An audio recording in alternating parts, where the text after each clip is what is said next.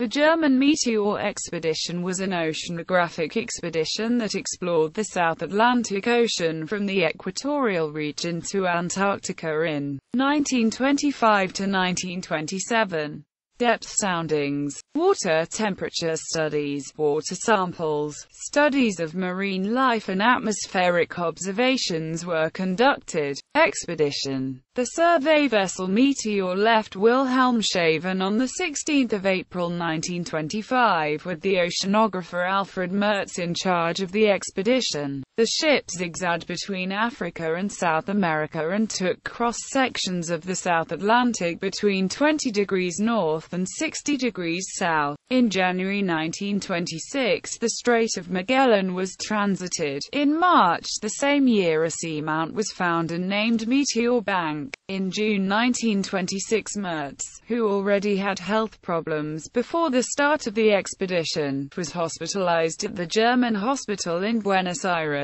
He died of pneumonia on 25 August 1926. The overall lead of the expedition was assumed by the ship's captain Fritz Spiess, while Georg Wüst became chief oceanographer. The expedition returned to Wilhelmshaven on 2 June 1927.